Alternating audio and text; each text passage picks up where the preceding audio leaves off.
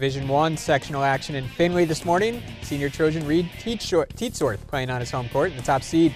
Nailing the forehand winner takes the match against Wapakoneta's Ben Schreier.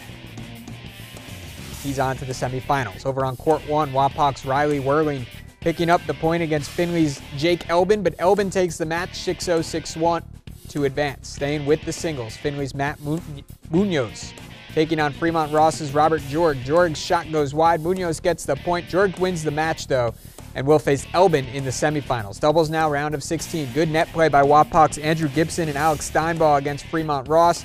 Redskins get the point, but the Little Giants win the match in three sets. More doubles action. Findlay's Huncho Lee and Logan Sullivan in the far court big slam. It's a three set victory for the Trojans and they earn their spot in the semis. Action continues Saturday with those semifinals and finals.